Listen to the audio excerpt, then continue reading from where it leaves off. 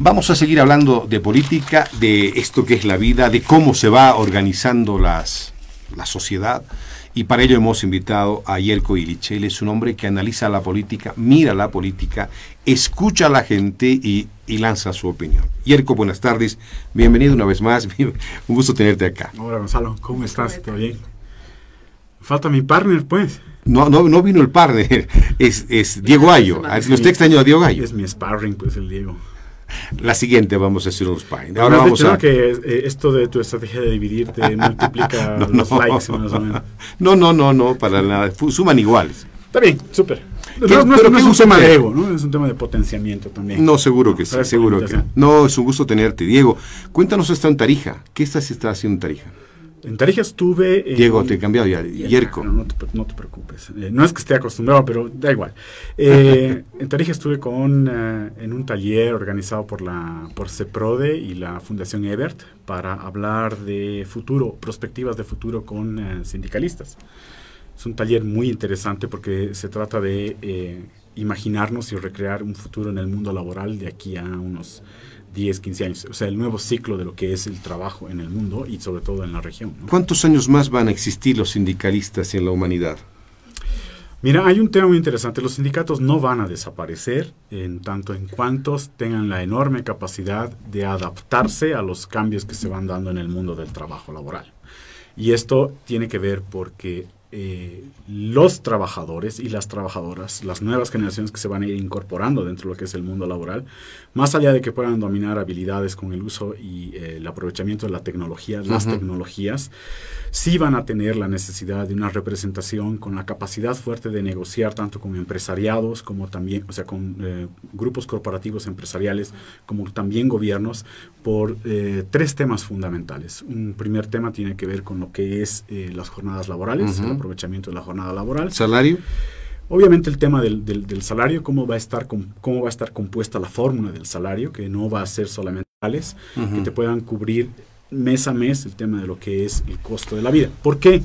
Porque en el mundo del trabajo del futuro nosotros tenemos que vernos con una tendencia y una ecuación muy fuerte que es la del cambio climático. El cambio climático significa eh, aproximadamente 36 trillones de dólares en costos para los países en lo que es el manejo y la administración de lo que son desastres y contingencias naturales.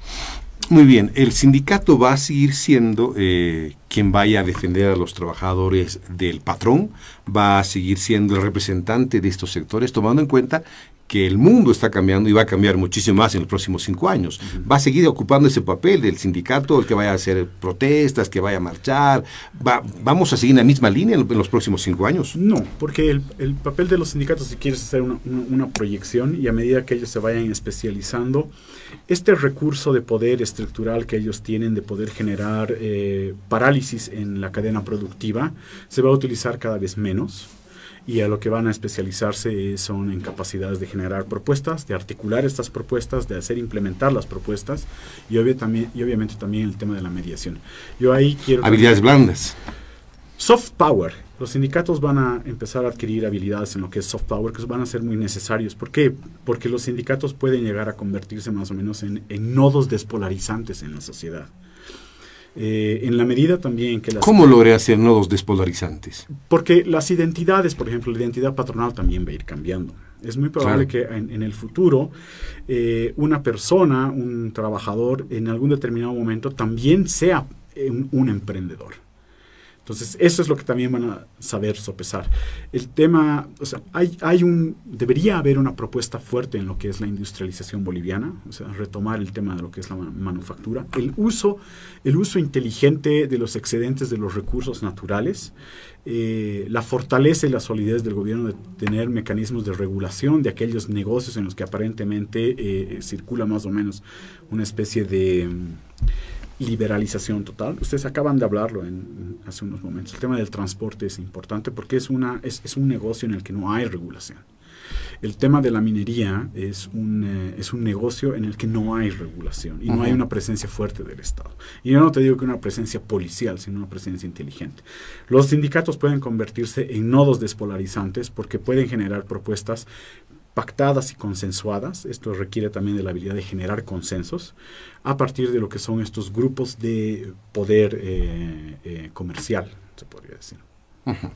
Esos son los sindicatos para el futuro, eh, según la prospección que tiene Jerko Illich, y cómo vamos a ir avanzando. En esta prospección de lo que se viene en el futuro, y esa es la charla que has estado dando, yo, yo me pregunto, te escuchaba y decía, ¿y cómo está incentivando el desarrollo humano los países latinoamericanos? cómo se lleva, se está avanzando, cómo vamos a ir avanzando a la par el, ser humano con el, desarrollo de las tecnologías y si vamos a ir adaptándonos, por ejemplo. Pero hay tres países en Latinoamérica que se caracterizan por haber ya, eh, desde hace un par de años atrás, inmediatamente salidos de la pandemia, invertir en lo que es esta suerte de eh, habilidades tecnológicas en la ciudadanía. Brasil, México, Chile. Eh, no es extraño, por ejemplo, que Brasil y México sean los, los, motores fundamentales de la economía latinoamericana. Están a años luz, básicamente, en la comparativa de lo que son ingresos PIB con, con, nosotros. Y ellos también son los países que a partir de esa dinámica de cambio en lo que es lo cultural, no solamente lo educativo, sino lo cultural con la tecnología, es que son enormes captadores de inversiones extranjeras. Por ahí también va el, el, hecho de que sus mecanismos legislativos no suelen ser ultra permitivos con lo que es, la, con lo que es el, el, eh, sistema patronal, es decir, las inversiones y los capitales eh, eh, comerciales, sino que tienen un alto grado de incidencia y también de especialización en la regularización. Porque no pasa solamente... Eso es parte de los gobiernos corporativos que se hablan también. Lo que pasa es que hay gobiernos corporativos autoritarios y hay gobiernos corporativos con, con, democracias eh, en, en, avance. Em, el nuestro lamentablemente es un gobierno autoritario corporativo y por lo tanto el nuestro no negocia, sino que impone. Y en esa lógica de la imposición se van perdiendo más o menos las habilidades para generar consensos y respetar los consensos. Eso pasa en Latinoamérica, no solamente en Bolivia. Em, en algunos casos sí, pero son son frecuencias que se van dando de ida y de vuelta, más o menos. Pero lo que yo te digo, Chile, Brasil, México, son los que más se especializan, por ejemplo, en generar las condiciones suficientes para captar inversión y esa inversión también redistribuirla, no directamente en lo que es transferencias directas, sino en inversiones más o menos inteligentes que puedan eh, convertirse en políticas públicas de redistribución. Quizás no me he dejado entender bien la pregunta y voy a tratar de darle la vuelta y decir, ¿cómo nos estamos preparando los seres humanos en Latinoamérica para estar a la par del desarrollo tecnológico. Y si los gobiernos están poniendo su mano ahí, su, firma, para que un joven esté preparado tecnológicamente, desarrollado en, forma humana, ¿no? Es, todas sus habilidades. Mira, hay una suerte de eh, autopedagogía en la tecnología. Ah, autopedagogía. ¿Eso qué significa?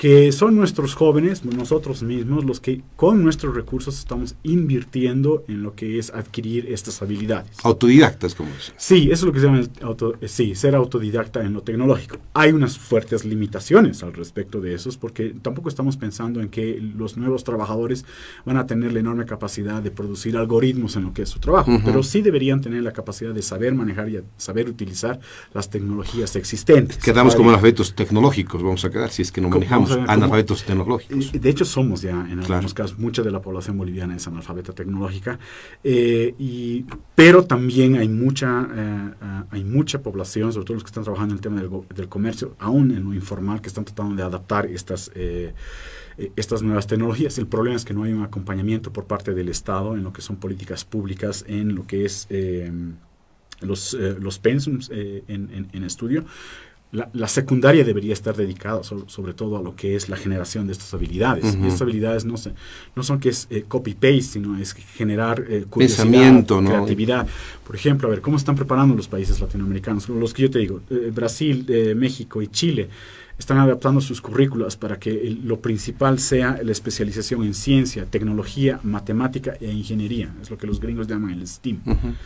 Estas son habilidades que te permiten con cierto grado de creatividad de operativizar eh, ideas a través de estos recursos.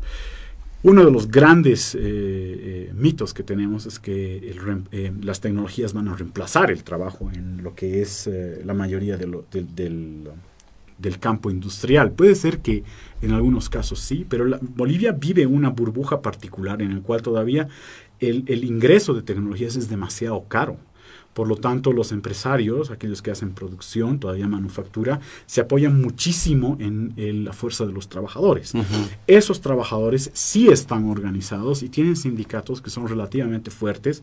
No te digo que bloquean los empresarios, sino que logran generar esos consensos.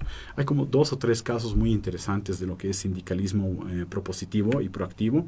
Uno lo que fue Ametex en su momento, que era justamente en el momento en que la manufactura tenía el, eh, uno de los... Eh, Cuando el APTBA estaba empezando. Sí, claro, porque ahí había una capacidad, por ejemplo, del, del, gobierno de generar y conseguir el, el, cliente, ¿no? el mercado.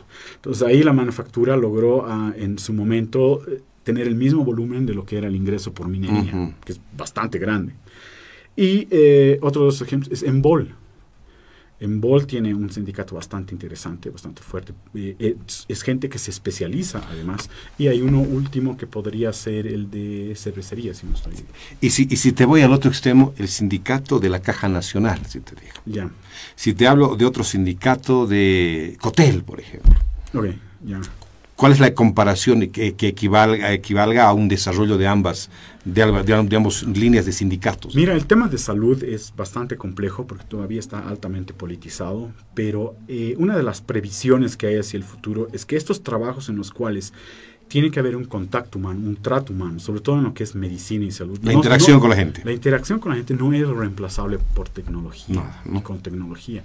Y ahí hay una cosa muy interesante. Eh, la, si lo llamamos así, es mano de obra eh, necesaria e indispensable. Lo hemos visto durante la pandemia. Eso no es reemplazable. Pero mira, tú has viajado recientemente fuera del país. Tú sales, antes tenías que entrar al aeropuerto, le entregas tus papeles a la persona que te atendía, te lo sellaba, te decía, ok, tiene listo. Ahora tienes una máquina que tú haces todo el trámite. En teoría sí. No, no, no tienes el contacto, la interacción con una persona. Vas al supermercado, Tú haces las compras, en bolsa solito, te pagas solito y no hay otro contacto con una persona. Desapareció ese trabajo. Eso, es afuera, te vas a una gasolinera, en la gasolinera tú cargas tu gasolina, otro fuente de empleo desaparecido. Y aquí tenemos tanta gente que va cargando gasolina. Te vas a un edificio, building, en Estados Unidos. Hay una, aquí tenemos a alguien que te va a tocar los pisos para que vayas al piso en algunos lugares, Ese trabajo ha desaparecido, ya no se existe, eso ya es muy antiguo. Pero si tú te fijas, van desapareciendo estos esos son trabajos que requieren mecánica. O sea, el hecho de eh, facturar, por ejemplo, en los supermercados, eso requiere de cierta mecánica. Ahora, también implica que tú tienes que estar entrenado para eso. Este ejemplo, por ejemplo, de los, eh, de los cajeros que desaparecen en los supermercados, lo debes haber visto en Target cuando fuiste hace poco afuera. A mí me pasó también. Yo entré al supermercado y claro, mi primera necesidad era buscar el cajero. Había como dos cajeros humanos y el resto eran máquinas. Sí. Entonces yo no estaba entrenado para, esa, para ese mecanismo, porque además es un procedimiento especial. Si quieres verlo tecnológicamente es un algoritmo. Yo no estaba entrenado para el algoritmo, entonces necesitaba todavía de... El, eh, de una persona, humano, de un humano. Ahora, mira Acabo de leer hace una semana atrás un experimento que están utilizando en Holanda, en los Países Bajos. Y es que hay cajeros especializados en el trato a personas de la tercera edad. Una persona de la tercera edad, por mucho más de que se haya, sido, hubiera sido autodidacta con la tecnología, sí necesita de un trato especial. Además, toma en cuenta que una de las mega tendencias en el mundo actual es que las personas de la tercera edad van a ir convirtiéndose en los mayores consumidores tanto de servicios como de productos hay una suerte más o menos de achicamiento en la población. O sea, todavía somos 8 pero vamos a ir achicándonos.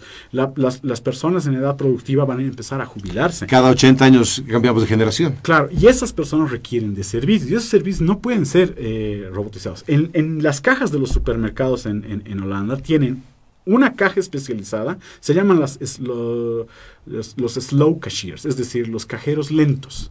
Estas personas no solamente están eh, eh, recibiendo los productos que la persona de la tercera edad le da, sino que conversan con la persona de la tercera edad. ¿Eso qué significa? Que esos supermercados, al haber implementado estas cajas, estas de, cobro lento, han aumentado la cantidad de personas de la tercera edad que asisten a esos supermercados. ¿No? Entonces, ¿qué? Esa inversión en lo humano tiene, eh, tiene réditos inmediatos. eso también es un cambio de pensamiento. Porque humanizas las relaciones, sí, porque, pues, ¿no? Eh, está uno, uno, de los mitos del capitalismo es que el, capitalismo es frío, no, no, no, necesita del contacto humano, cuando en realidad los negocios son contacto humano. fíjate cómo las relaciones, eh, cómo la construcción de relaciones comerciales en, en espacios comunitarios como por ejemplo el Alto. El, el tema esto de la fiesta, del preste, del, del baile, la danza, eh, la- las reuniones, esos son mecanismos de creación de confianza y eso tiene que ser a través de lo que es contacto humano. Claro, ¿No? no, es necesariamente. No es que yo te mando un QR y yo te voy a vender una cantidad de productos. No, tengo que conocer, tengo que saber cómo es tu familia, tengo que entender cuál es tu contexto, porque principalmente tengo que confiar en ti. ¿no?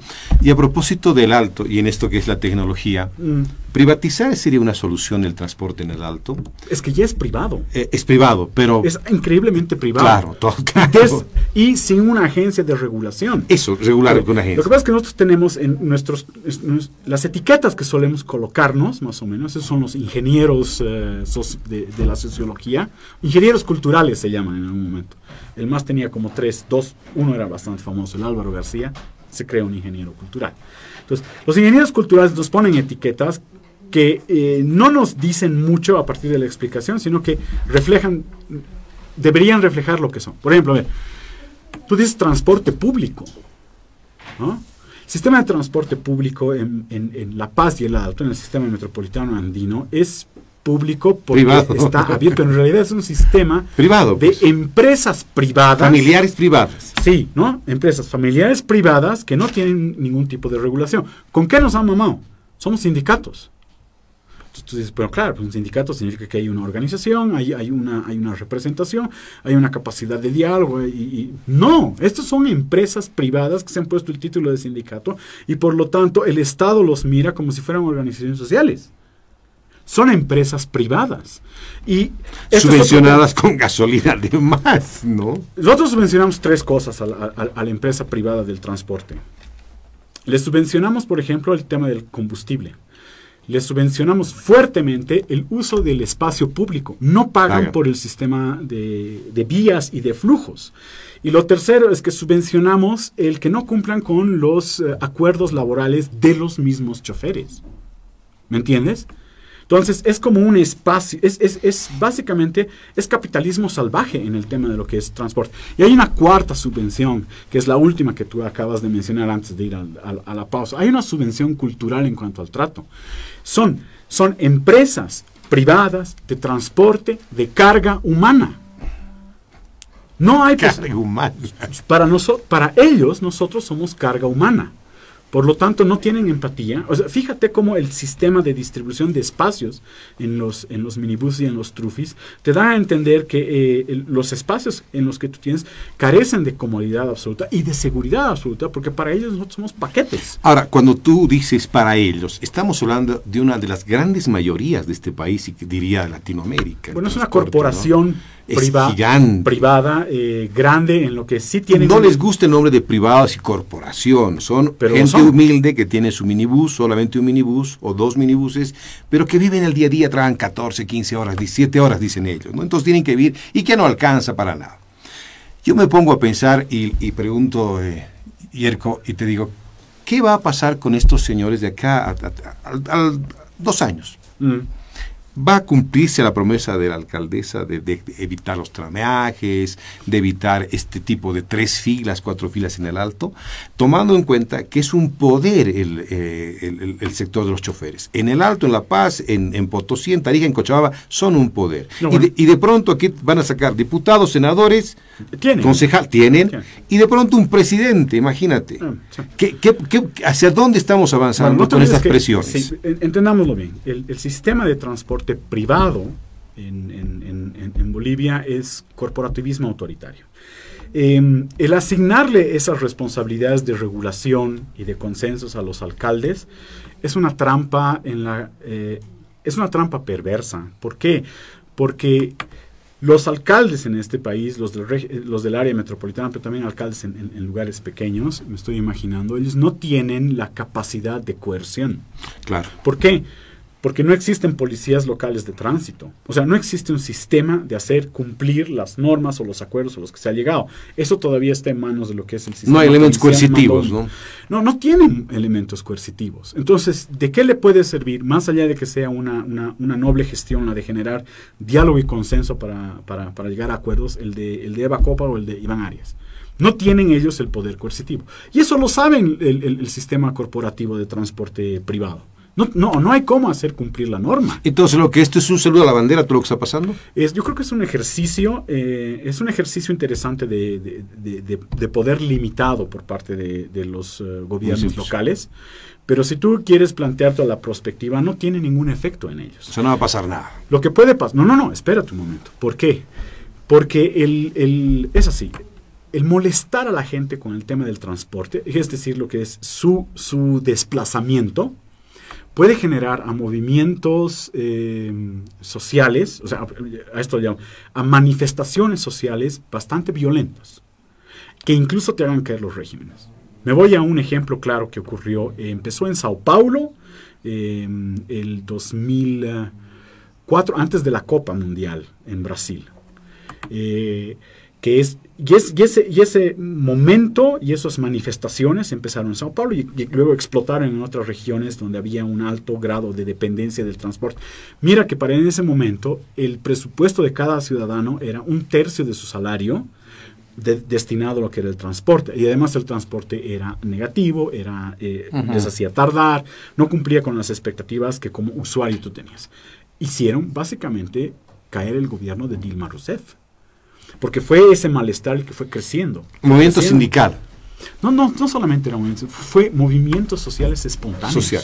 Ahora, ¿detrás de eso había alguna posición política? Porque se denuncia... Mucho más tarde hubo, pero, ahora empezaron a darse cuenta de que esas, esas manifestaciones que tenían que ver con algo que políticamente debió haberse manejado de otra forma. Además, le costó muchísimo, eh, en ese momento era Haddad el, el, el ministro no, no ministro, estaba encargado del, del, área metropolitana de Sao Paulo, era, como el alcalde de Sao Paulo. A él le costó después en su candidatura el que le recordaran ese pasado y ese mal manejo. Ahora, ahora, ahora bien, Yerko, eh, sucede esto con el tema de los municipios y se ha denunciado y se dice que detrás de esto está Evo Morales para, de, para eh, desarticular y debilitar la gestión de Evacopa. Eh, lo decían hace unos instantes. Mm. Evo Morales está detrás de esto. Tiene un aditamento político más este movimiento que podría generar en un hecho de violencia muy fuerte, tomando en cuenta que se viene el Congreso en Yapacaní, en, en, en octubre, y acá quieren que sea en octubre también en el Alto. Mm. Hay un condimento político muy fuerte ahí. Es un condimento político, pero que yo no diría que tiene tanto efecto. A ver, eh, porque lo que, lo que queremos relacionar en lo que tú dices es que el movimiento del, em, del, empresariado privado de transporte en el Alto está casado con Evo Morales y la aspiración de Evo Morales de expulsar a Eva Copa o por lo menos de disminuir la influencia política que ella puede tener a favor del gobierno de Luis Arce. Esa es la ecuación más o menos. Yo creo que hay eh, en, en el Alto todavía un par de brokers electorales que se manejan para el Evo porque esa es la obsesión del ego. Eh, para que entremos también a lo que es el, lo que está ocurriendo con el MAS. En este momento en el MAS están disputándose dos elementos de fuerza más o menos. Uno son los brokers electorales, es decir, gente que administra votos. En el alto los brokers electorales son de la FEJUVE, de una de las FEJUVES y de las juntas escolares. En algunas FEJUVES la territorialización está claramente en el Distrito 8, que durante muchos años, sobre todo en lo que es el mandato de Evo Morales, recibía dinero como si fuera un municipio. Y ahí tiene mucho que ver el Ministerio de Descentralización y, y además lo que es el Ministerio, no es Ministerio, pero es, eh, el Viceministerio de Vivienda ellos metieron muchísimo dinero en el Distrito 8, considerando como un espacio, como si fuera una alcaldía aparte. Y era para debilitar a Soledad, Chapetón, era, y, era para también debilitar, eh, lo están haciendo ahora para debilitar a Eva ¿ya? Ahora, tienen esos brokers electorales. En el resto del país, eh, pareciera ser que los brokers electorales del MAS y PSP, al menos en lo que es su mayoría, estoy hablando de un 60%, ya han identificado que tienen que ir con Luis Arce Catagüero, en la posibilidad de que este vaya como a la reelección. ¿Por qué el descontento con Evo? Porque no tiene poder. ¿Y no tiene plata? Exacto. No tiene el poder económico para movilizar y para sostener eh, esas dirigencias o esas gerencias de voto. se llaman, eh, eh, son managers de voto los brokers electorales. Y no lo hacen ad honorem, no lo hacen porque les gusta la política, lo hacen por beneficios, por beneficios económicos individuales. El otro grupo se llaman los topócratas. Los topócratas del MAN son los dueños de territorios. Es lo que nosotros también lo traducimos como caciques, eh, caciques locales. En, esa es una pugna que se está llevando adelante. Ahorita el, eh, hay topócratas que pertenecen a, a, a, movimientos sociales y hay topócratas en el alto, por ejemplo, hay dos, ¿no es cierto? Eh, esto de, de, quien controla la FEJUVE Evista y los de las juntas escolares. Esa pugna todavía tiene que resolverse y se va a resolver en los siguientes seis meses. Además de una manera en la que a mí me parece que es bastante eh, deshonesta para el país, porque lo que está haciendo el MAS, lo que está haciendo el presidente Arce, lo que está haciendo Evo Morales, es, han, han, llevado sus primarias, que eso se debería resolver meses antes de la elección del 25, o sea, los primeros meses de, del 25, lo han, no, pero lo han llevado al escenario político uh, nacional y nos tienen a todos los bolivianos. Hablando del tema. Hablando ¿no? del tema, cuando en realidad es una cuestión que lo tienen que resolver ellos de manera interna. Que además yo estoy seguro que ahorita lo que están haciendo es toda una pantomima violenta, porque tarde o temprano cuando se den cuenta de que dividir sus votos les genera también la pérdida de, de, de representación y de poder de negociación hacia lo que puede ser cualquier gobierno hacia futuro, van a volver a pactar eh, entre ellos. ¿tú, ¿tú, crees eso, eh, Yerko, cuando tú dices cuando se den cuenta? ¿Acaso son tontos para no darse cuenta ahora? ¿O nosotros que, somos los tontos que no queremos darnos cuenta? No, no, es que la tontería esté en nuestro lado y tampoco en ellos. Ellos son bastante hábiles, son muy sagaces. Lo que ellos están tratando de hacer es medir en este momento qué nombre te puede generar el consenso para tener un gobierno, eh, por lo menos, eh, de mayoría parlamentaria, y también de pesos en lo que son Andrónico podría ser uno de los nombres que circulan. Imposible. Imposible porque está por un lado del Evo, del lado de los evistas. no, pero ¿no? no solamente eso, sino Andrónico está ensayando convertirse en un broker eh, electoral nacional. Y él no tiene las habilidades para eso. No tiene capacidad de negociación, pero por sobre todo no tiene capacidad de cumplimiento, porque lo que pueda prometer de que se va a hacer en el Senado no necesariamente lo va a cumplir. ¿Quién entra por el más entonces? ¿Qué, qué figuras fichas políticas Ay, mira, tenemos. La estrategia por el lado de Arce es generar eh, el aislamiento. Son dos, son dos pasos que tiene que hacer Arce con, con, con Evo para definitivamente él ser el, la única voz y mando en las elecciones del 25. El aislamiento y la proscripción. Si en este, en este, ahorita están viviendo la fase del aislamiento, y esto es así, te podría decir que es una ingeniería de aislamiento hacia el Evo. ¿ya? Si con el aislamiento es suficiente, van a pactar con el Evo algún tipo de esto, de, de casicazgo local. Una senaturía en, por Cochabamba, al Evo no le viene mal. Para su movimiento, para su tranquilidad o su jubilación, es perfecta y además mantiene la representación de los sindicatos cocaleros. Es una fuerza de que él no quiere perder. Si, digamos, continuar, eh, se resiste Evo Morales, Evo Morales puede convertirse en el Milei boliviano, no en el sentido que va a aplicar las políticas neoliberales, sino en que puede ser el disruptivo con el discurso. Porque además es en este momento Evo Morales el que está encabezando la, la tesis de el mito de la estabilidad. Nos ha mentido, Arce nos ha mentido. Ya. El siguiente paso es la proscripción, y esta es una proscripción jurídica. Porque no basta más o menos con decir Evo Morales no puede ser candidato, sino tiene que, claro, tiene que los casos. Evo Morales ahorita está gritando y está diciendo no quieren hacer la elección judicial porque los actuales jueces ya se han dado la vuelta y son ellos los que van a generar básicamente mi proscripción judicial. Eso se llama lawfare. Ahora, él tiene un equipo de gente. ¿Te acuerdas la semana pasada había esta pelea entre los, eh, los 200 abogados para el Evo sí. y solo... Uno, eh, Lima. Claro, era una suerte de eh, Goliat, David contra David Lima, ¿no es cierto?, contra Goliat Morales, más o menos, ¿no? Entre en ese goliatismo jurídico, Evo Morales cuenta con dos por lo menos, uno es Zaffaroni y el otro es el que también está llevando adelante el caso de, de, de Castillo en, en, el Perú. Y la tesis de lawfare a él le, le, le, le, funciona muy bien, además que puede estar financiado por, fácilmente por Cristina Kirchner. Si la proscripción se da, queda claro que solamente Arce. Arce. Y Arce demuestra que tiene la, el autoritarismo suficiente y se como queda para con el más. el más. Y se queda con el Lo más. otro es que Arce se dé cuenta que no puede, ni con Evo ni con el más. Proscribe al Evo y al mismo tiempo proscribe al más porque al MAS lo puedes proscribir por el o sea, puedes borrar su personería jurídica. ¿Con quién está el voto duro del MAS en este momento? Están en, en, esa pugna. Están en esa pugna. Cuando te digo que los brokers electorales todavía están decidiendo y los topócratas ¿Es también. ¿De 20, 25%, 30% de bloque duro? En elección nacional, sí. tú dices, eh, eh, se ha llegado a estimar que es 36% el, el voto duro del MAS y PCP urbano eh, rural, rural eh, especial. con los cacicazgos pero ahí cuando esos cacicazgos están funcionando el, uh, pero ese 36% ahorita es el que se está disputando más o menos. Una segunda parte Yerko cuando quieran. Con claro tu parte. sí. claro, sí, con el sparring. Yerko, es un gusto tenerte acá. Es un placer. Interesante tener esta mirada, este análisis de lo que está ocurriendo. Todavía falta más. Eh, estamos a muy poco tiempo y todavía hay mucho tiempo, como usted quiera verlo. Sin embargo, vamos a ir hablando la próxima de los candidatos, de quiénes podrían ser los elegidos por usted, a quién le va a confiar la posibilidad de que administre la billetera de este país. Después vamos a estar hablando. Gracias, Yerko. Un gusto tenerte acá. Muchas gracias, Gonzalo. Un gusto, un Muchas placer. gracias.